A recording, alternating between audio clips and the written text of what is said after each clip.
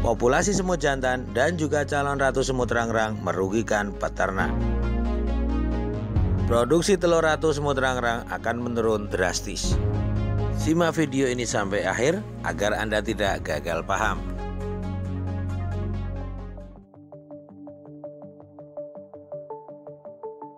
Assalamualaikum warahmatullahi wabarakatuh Selamat datang kembali di channel Abian Channel yang selalu memberikan informasi tentang semut rangrang Di video kali ini kita akan membahas tentang semut jantan dan juga calon ratu rangrang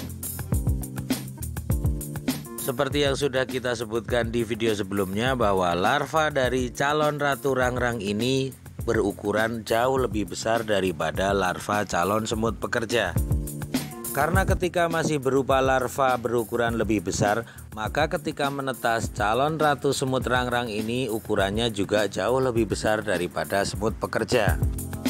Calon ratu semut rangrang memiliki rahang sama halnya dengan semut pekerja akan tetapi dia tidak mengambil makanan sendiri. Kehidupannya tergantung dari semut pekerja yang menyuapinya. Secara spesifik, calon ratu semut rangrang ini tidak memiliki fungsi dan tugas di dalam koloni asalnya. Ia akan meninggalkan koloninya bersama semut jantan ketika musim kawin dan membuat koloni baru di tempat yang lain. Calon ratu semut rangrang ini tidaklah memiliki tanda pengenal berupa feromon sebagaimana yang ada pada semut pekerja. Ketika calon ratu semut rangrang ini diambil kemudian dimasukkan kembali ke koloninya, maka semut pekerja akan mengidentifikasinya apakah dia sebagai musuh atau sebagai anggota dari koloninya. Jika berasal dari koloninya sendiri seperti ini, maka calon ratu semut rangrang akan diterima di koloni itu. Akan tetapi, jika calon ratu semut rangrang ini diambil dari suatu koloni kemudian dimasukkan ke dalam koloni yang lain, maka calon ratu semut rangrang ini akan dimakan oleh semut pekerja.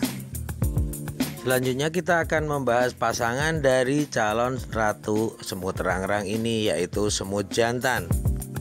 Ketika masih berupa larva, larva semut jantan ini memang sangatlah mirip dengan larva semut pekerja. Yang membedakannya adalah jika larva calon semut pekerja kepalanya membengkok dan menghadap ke dadanya sehingga larva ini membentuk seperti mata kail. Sedangkan untuk larva calon semut jantan, kepalanya lurus segaris dengan badannya dan agak meruncing. Secara ukuran, Semut jantan berukuran hampir sama dengan semut pekerja yaitu sekitar 5 mm. Yang membedakannya adalah warnanya yang hitam dan dia memiliki sayap. Semut jantan tidaklah agresif dan tidak bisa menyerang sebagaimana semut pekerja. Tidak memiliki rahang sehingga kehidupannya hanya bergantung kepada semut pekerja yang menyuapinya juga. Karena ini merupakan pasangan dari calon ratu, maka siklus hidupnya adalah bersamaan, yaitu sekitar bulan September sampai dengan bulan Februari setiap tahunnya di peternakan kami.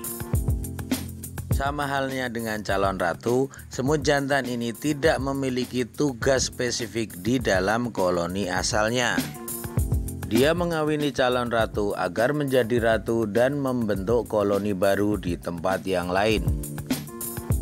Setelah mengawini calon ratu, biasanya dalam beberapa hari ke depan, semut jantan ini akan mati dan bangkainya akan dibuang oleh semut pekerja agar tidak mengotori koloninya.